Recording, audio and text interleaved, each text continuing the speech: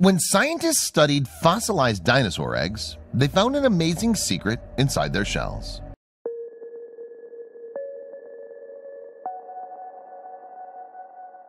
But before we start, please make sure to subscribe to Did You Know and hit the bell so you never miss an upload from us. Also, leave a like right now.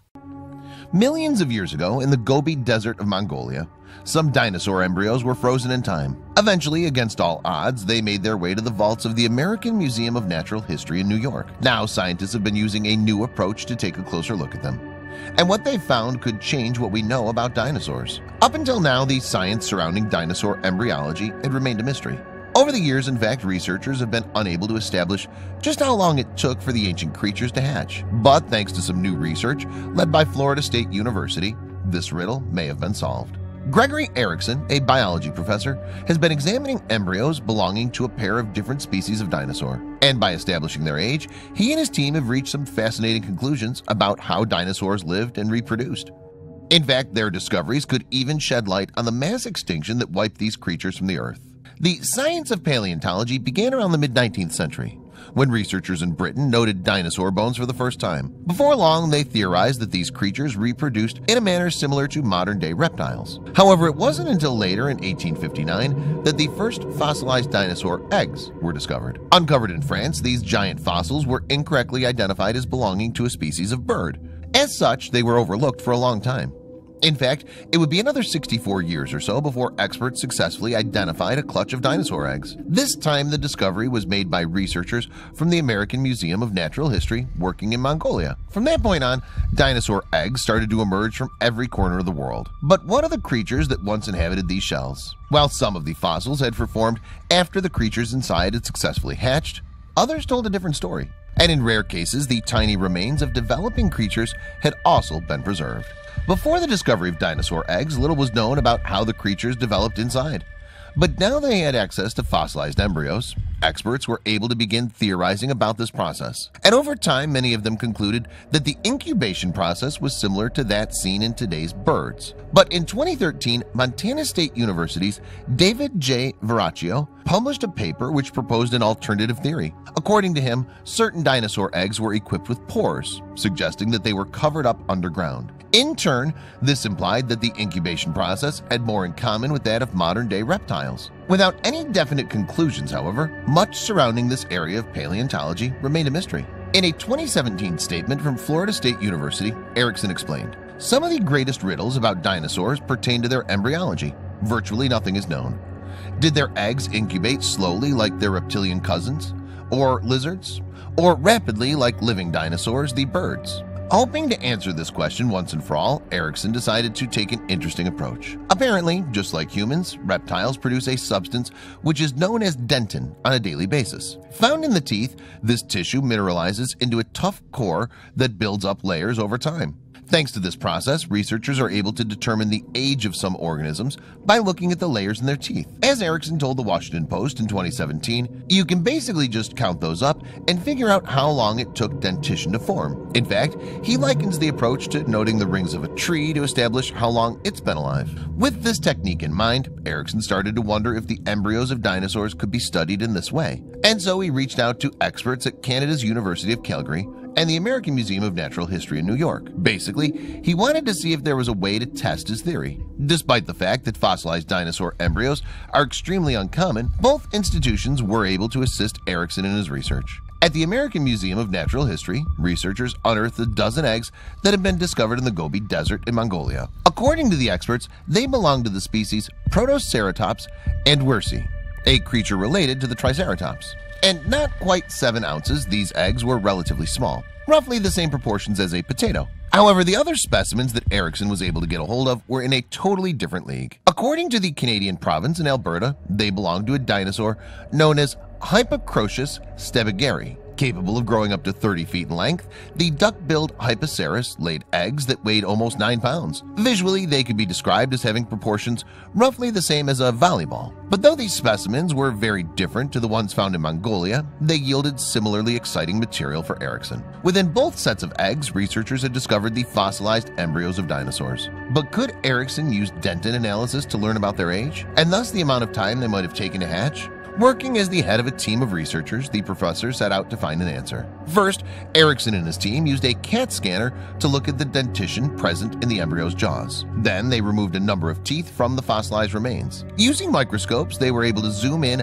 on the ancient specimens to find exactly what they'd been searching for. Underneath the microscope, the lines of dentin in the teeth were clear. As Erickson told the Washington Post, I knew we were in business.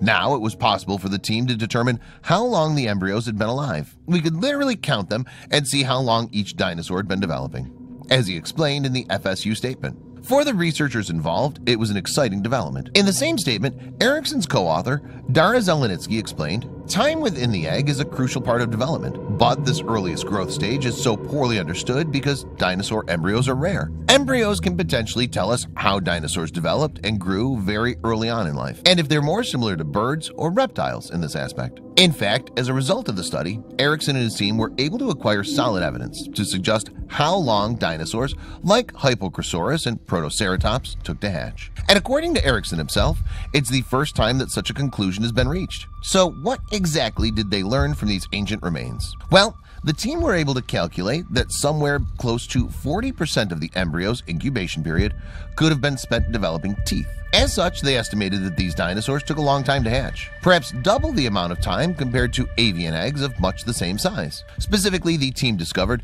that the smaller Hypacrosaurus could have taken approximately three months to hatch. Meanwhile, the larger Protoceratops may have spent as many as six months developing inside the egg. Apparently, it's the first time that researchers have been able to pinpoint specific incubation times for non-avian dinosaurs. But that's not all. Hypacrosaurus was undeniably a sizable dinosaur. It was far from the biggest. And because modern reptiles and birds indicate that larger eggs take more time to hatch, it's likely that some creatures had a much longer incubation period. In fact, Erickson believes it could have stretched to as much as 12 months. It's really surprising, Erickson told the Washington Post. I don't think that people would have entertained the idea that they would have incubated over the better part of a year. However, for Varricchio, who'd long believed that dinosaur reproduction was more similar to that of reptiles than birds, the news was less of a shock. In modern science, it's generally believed that birds are the closest things to dinosaurs that are alive today. As such, it's not surprising that many experts have deduced that their reproductive process might be similar. However, thanks to Erickson and his team, it can now be theorized that the creatures of the Mesozoic era actually had more in common with reptiles. Typically, bird eggs have a relatively short incubation period, with embryos usually taking between 10 and 30 days to emerge from their shells. Even emperor penguins, whose young take the longest to hatch out of any avian species, spend just two months developing. However, modern reptiles are a different story. Regularly referred to as cousins of the dinosaurs, today's reptiles have an average incubation period of between one and two months. But it's not just the time that it takes for their eggs to hatch that's different to their prehistoric relatives. Apparently, the way in which they interact with their developing young is also at odds with the dinosaurs. Unlike most birds, today's reptiles are known for burying their fertilized eggs underground. And while some species will remain with their young in order to protect them, the vast majority abandon them to fate. But if dinosaur eggs took a similar time to incubate, did they also engage in such a detached approach to parenthood? Amazingly, there's evidence to suggest that dinosaurs, unlike modern-day reptiles, remained with their young throughout the incubation period. According to Varricchio, previous research has indicated that parental care existed within some species.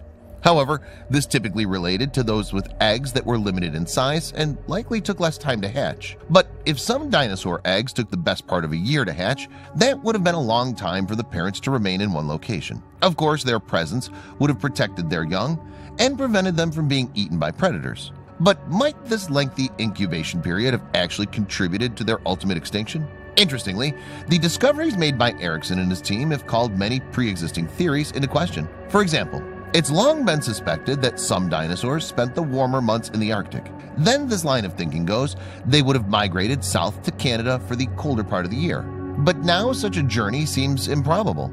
Given the time that it would have taken some dinosaur embryos to develop, it seems unlikely that the creatures would have migrated at all. Moreover, it wouldn't have been easy for the adults to choose a site for their nests. Because the eggs took so long to hatch, it likely would have been necessary to find a spot that could be looked after for a long period. But those weren't the only difficulties associated with tending to a nest of eggs for an extended time.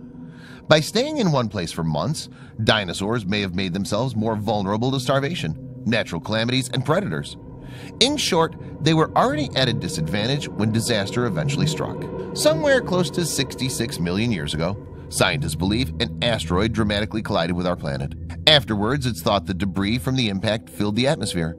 This would have prevented light from the sun from reaching Earth. In the ensuing darkness, temperatures plummeted, and ecosystems were thrown into disarray. In the end, scientists believe this event led to the extinction of 75% of living things on the planet. Meanwhile, the creatures that did survive likely did so by being adaptable and fast to reproduce. For example, the progenitors of contemporary birds are thought to have had short incubation periods. This would have allowed them to quickly repopulate the stricken planet. But with their slow incubation times, creatures like Hypacrosaurus and Protoceratops wouldn't have found it so easy to reproduce. In the statement from FSU, Erickson explained, We suspect our findings have implications for understanding why dinosaurs went extinct at the end of the Cretaceous period, whereas amphibians, birds, mammals, and other reptiles made it through and prospered. But although Erickson and his team believed that the dinosaurs' slow incubation period may have stood in the way of their survival, it wasn't the only factor. Apparently, these lumbering creatures were also disadvantaged in many other ways. For example, as large, warm-blooded animals, they were terrible at conserving energy. Aside from that, Erickson claims, the dinosaurs also took a long time to mature, even after they'd finally hatched. All in all, evolutionarily speaking, these creatures were not particularly well equipped to handle change. And when their habitat drastically altered, they had little to help them adapt to the new world. The dinosaurs found themselves holding some bad cards. Erickson told the New York Times in 2017 they had a dead man's hand. Now, millions of years after the mass extinction, creatures like Hypacrosaurus and Protoceratops have long since vanished from the Earth. But thanks to researchers like the team at FSU, we're still learning more about them every day.